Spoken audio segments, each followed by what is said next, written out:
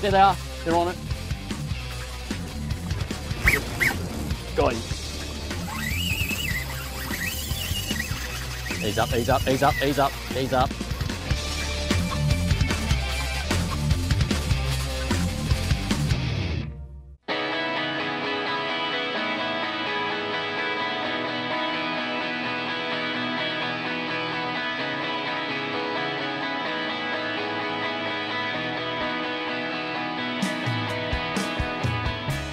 Well, it's summertime and it's a beautiful time of the year down here in Victoria. It's actually Christmas holidays to be exact, and today we're at a place called Inverloch, a very, very popular holiday destination. People come down here because of the great estuary system that flows through this area. However, there's some awesome fishing that's offshore. We're going to go over the bar today, and in any bar crossing anywhere in the country, it is law to wear a life jacket. This is my PFD jacket. While it keeps me warm, it also keeps me alive. It's got the gas canister in it that if anything did happen, unfortunately, you pull the cord, the gas canister pops, the jacket in floats, and you're gonna stay alive. The other thing you need to do, there's a lot of sand channels and stuff through here. Very, very important. Wear a good pair of polarized sunglasses like these so I can see the light in the dark areas. As much as I'm gonna use the sounder to follow the depths, just watching where those sandbanks are to wind your way out through these channels and then also crossing the bar it's vital to have these. It makes life much, much easier. Anyway, we're heading offshore, chasing some big whiting and whatever else may turn up. So let's get to it.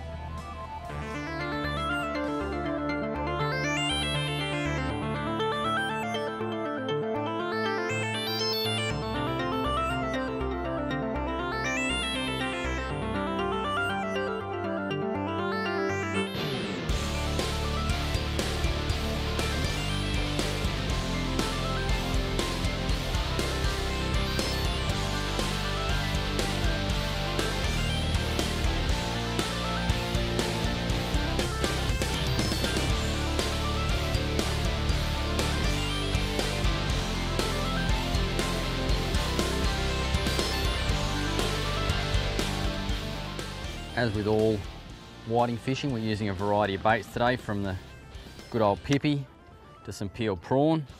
It's great bait and also this stuff all makes fantastic burley and the key in these areas is not to burley too hard because you'll just bring a whole lot of rubbish fish being wrasse. The rigs we're using are the good old Black Magic whiting snatcher, which is your paternoster rig, sinker on the bottom, dropper above, and that's the one I fish straight up and down. Works best just like that. And the other one is the whiting whacker, which the boys have modified over at Black Magic. It's now on a much longer leader. Used to be on quite a short little leader, about that long. We got them to make them longer, and the idea of this is that you can fish it as a running rig and have a great big long leader, or do as I like to do, tie a small dropper loop in that, like that, and that is now what I'll attach the sinker to, just a little one ounce bomb sinker. And I can loop him straight onto there and I can easily change sinkers as I need to. The idea of this rig, once it's tied on, works very nicely because you can cast it out the back, circle hook, little KL10 with the flashy material on it, a little red bead that runs down on top of it. And best of all, you can cast this out and slowly drag it through the sand hole and you've got a nice bit of leader with a bit of movement there. That's the rig I really love fishing for the whiting.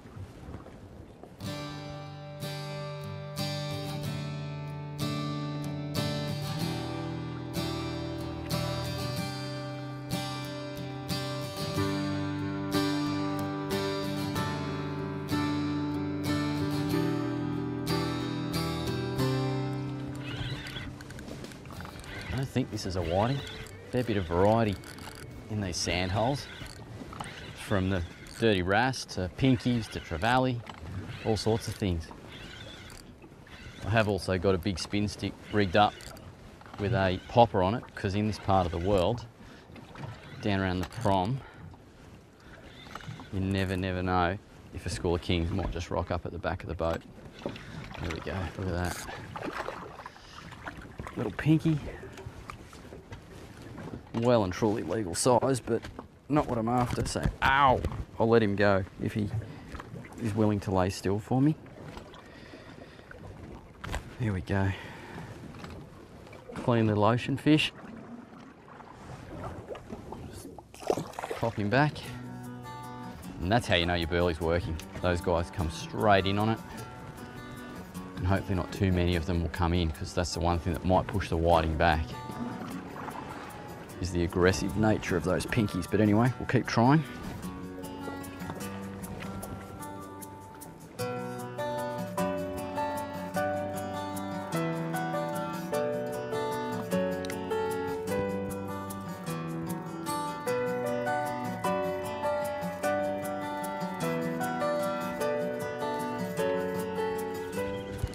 go.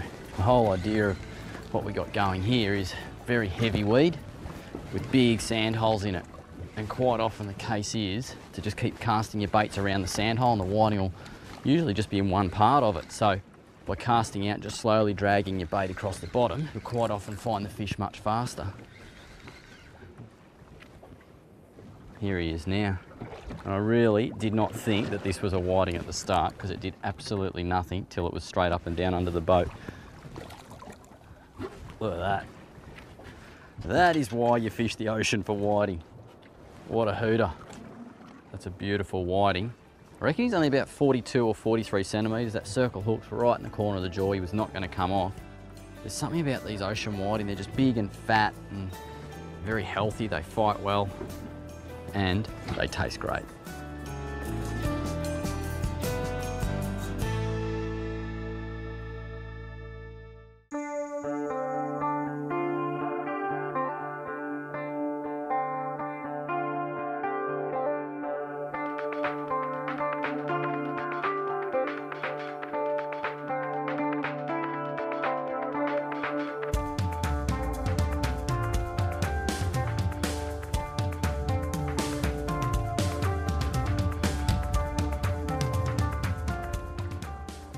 Got in the weed.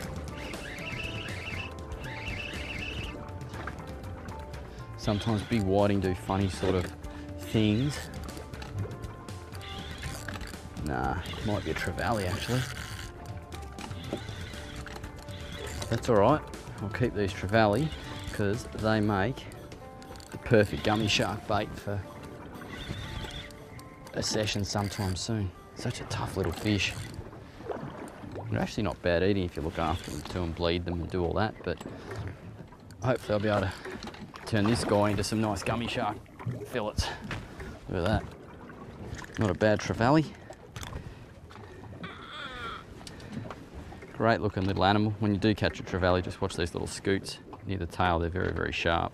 And also those little anal spines there. Safest way to grab them pretty much just like that. Squashy sort of dorsal down a bit. Just there. You swallowed that hook right down. I'll just cut that off. Here we go. And in the bait tank for you, mate.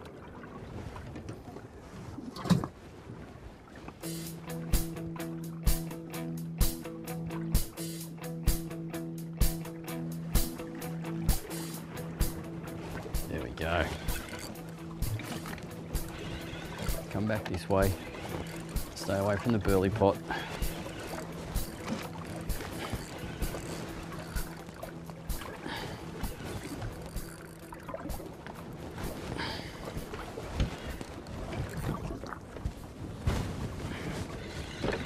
What this is? Another trevally, I think. Look at that. Nice trevally. Beautiful.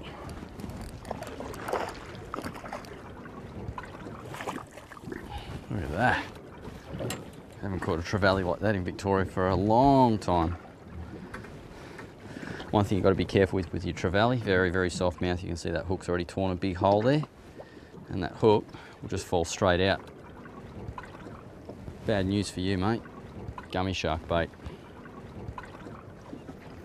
Now what I'm going to do with these couple of trevally I've got, not bleed them or do anything like that because I am going to use them for gummy shark bait. I'll take them home, cryovac and they'll be in pristine condition and they'll hopefully produce a few gummies.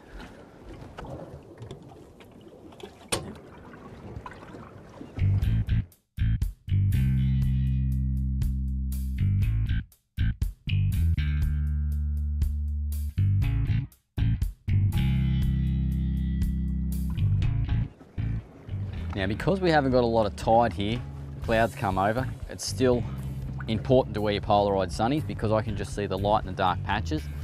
And what I'm doing here is I'm casting way out the back because these fish are pretty flighty. They don't want to come in under the boat on the burley.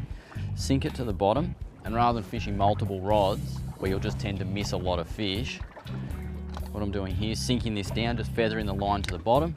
It's now down there. And just by holding that line or the rod slightly to the side, doing this, I can just very, very slowly drag the bait across the bottom, like just move it. That rod tip's just bouncing. With the braided line, it seems quite aggressive. That's just the sinker bouncing over the lumps and the bumps in the sand and the bits of weed. And by holding it just slightly to the side as well, when you do get a fish come along and bite, you'll know straight away, but it also enables you to drop the rod towards the fish, let him take that bait just for a split second. If I just keep winding it like this with the line pointed directly through to the rod tip, it's very hard to move with the fish. The side, much, much easier.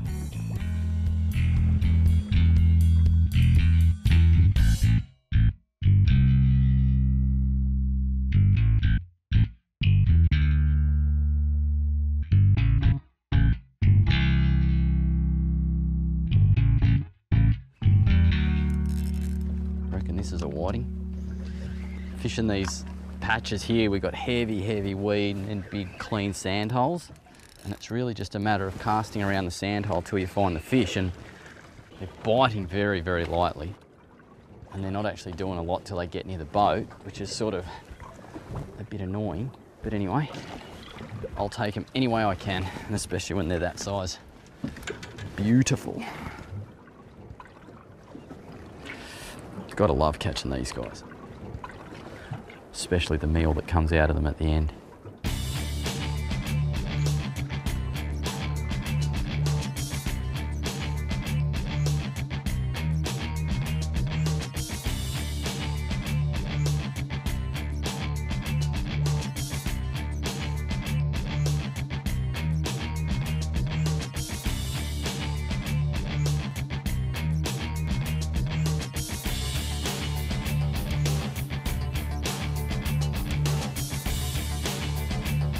There they are. They're on it.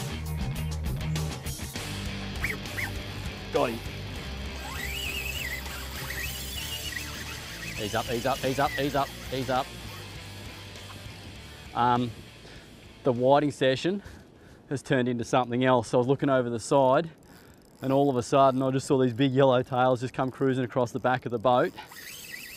And for this reason, I had the heavier outfit rigged with a jet popper on it because in this part of the world, around here, you just never ever know when the big kings are going to show up. And while we're chasing whiting, you've always got that thought in the back of your head. It's all about being organised. Come on, ease up. I just got to hope to God that there's not a big bommy out here somewhere. I've just decided to pull the anchor up and luckily we just made a quick move and only have one whiting rod in the water. So it made it that little bit easier to, to Oh dear, no, this is bad. This is bad.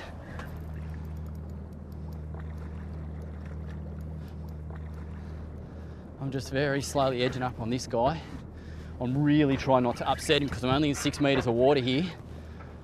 And if I upset him, all he's going to do is try and punch a hole into the bottom. And that's the last thing I want to do. I've only got very, very light drag on this fish. Like I said, I'm really just trying to not upset him too much. I'm looking here and this, uh, he's up this bottom. While it's reefy, it's predominantly low-lying reef and I've just got to try and get him out because just over that way there's sand and if I can lead him out into the sand, we're right. My heart is just cranking right now because as much as you've always got that thought in the back of your mind that, you know, it'd be nice to see a kingy, you sort of never expect it. And that's what kingies do. They rock up when you least expect them. It's why it always pays to be ready. He's up, he's up, up. Oh, that felt bad. Something pulled them, whether it was one of the sets of trebles or whatever, I'm not too sure.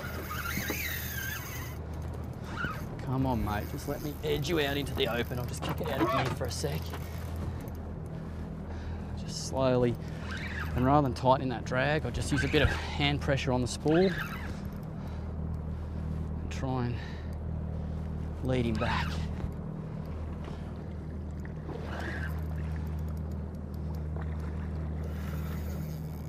These little jet poppers are just such a good lure. People come into my tackle store and say, I want to catch a kingy on a popper, and we've got heaps of poppers on the wall. But for my money, you just can't beat these little jet popper. They're a JP05. Something about them, I think. Personally, I reckon it's because they've got a nice big cup on them. They bloop nice and easily. They make a lot of noise but then when they pause, they're only a little lure. And I think the kings obviously hear them from a long way away because of the noise they put out. But then when it stops and they see it, they go, that's about the size of a pilchard, you're gone. I should have some colour on him soon. So he's making those runs to the bottom, but they're not a frantic sort of head kicking or head punching run where he's trying to do me. I'm over this lighter bottom now. And that's all I've got to hope for is that he doesn't find some big lump of reef. And this is just a, basically it's my Western Port sort of snapper gear. It's a nine to 15 kilo T-spec rod, which it sounds heavy, but it's not. It's light, it's softer tapered. They bend nice and easy. They look a bit like a toy, but they've just got a lot of pulling power. Uh, okay, now I've got to get these rods out of the way because if he comes under the boat, I've got to be able to walk around with him. And this is what it's all about, not panicking. You can really guide your fish just like that while he's still a few meters away. I'll just pop this door out.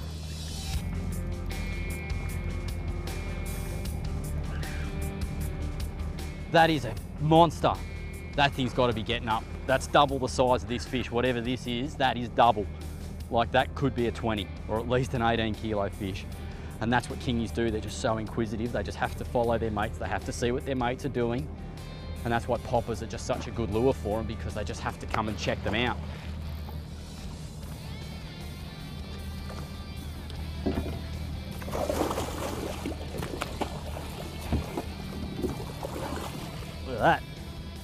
Victorian King. Love it. Love it, love it, love it. On light here, on a surface lure. Does it get any better? I don't think so.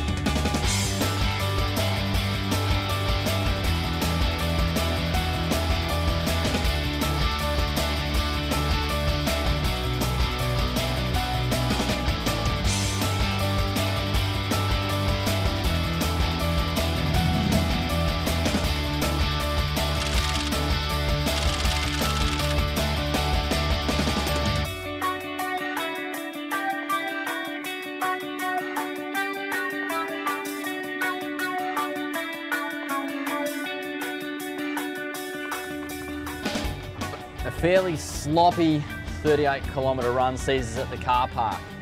Now starting game here today is we're going to toast some skip baits. You may say, how have we got skip baits when we're just starting fishing? A very good friend of mine, George Trinkler, fished yesterday. He kept a couple of slimy mackerel for us. And the bonus to this is that Quinny and I can put two skip baits and a teaser out. And while we've got those out, we're watching the sounder very closely because we've got to find the bait to find the fish.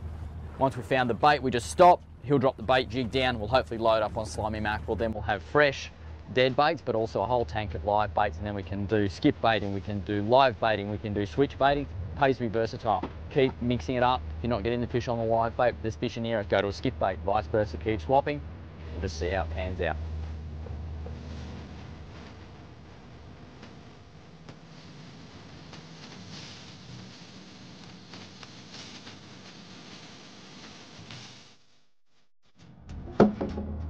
There we go. That's our skip baits. Rigged, ready to go. Circle hooks on the nose, stitched up so they don't fall apart. Later on in the show, I will show you how to rig one of these. It's very, very easy and obviously very effective.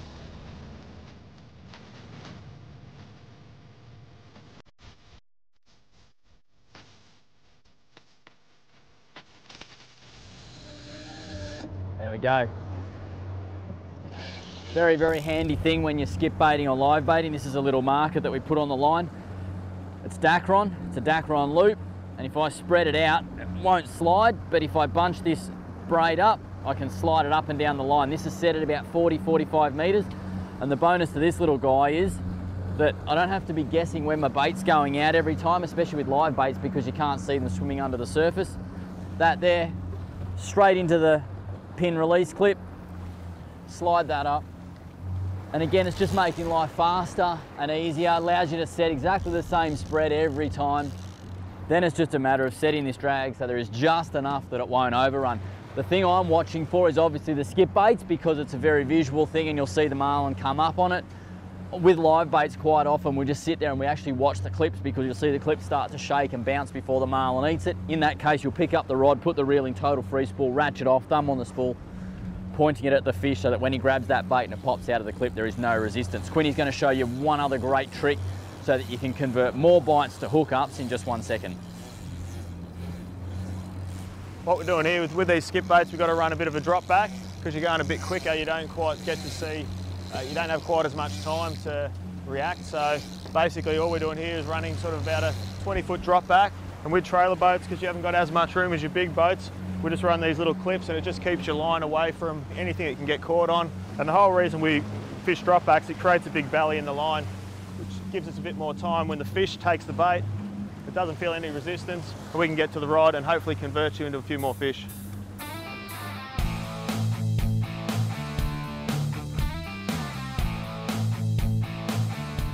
Bait How far down? shouldn't be far, 60, 80, 100. Yep.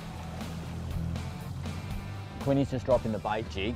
What I've got to do is stay on the wheel, try and hold us over it. This wind's obviously going to push us off.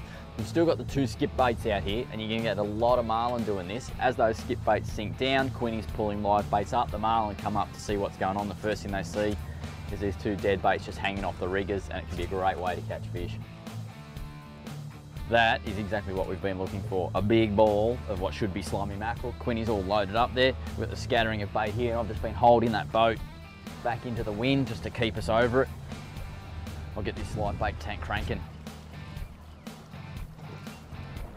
Well, there's a bit of colour, Quinny. Yeah, mate, just coming up now. What do we got? Oh, nice. Quarter full That's string. what we're after. You're right, mate?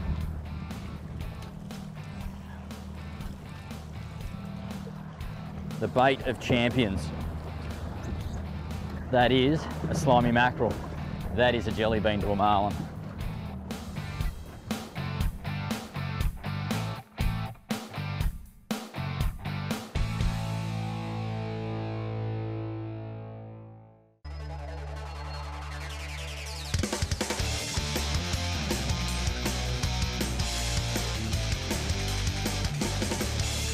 Tough fish.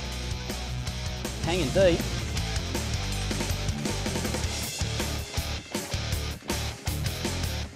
Oh yeah, how good's that? And that's why you go marlin fishing. Oh,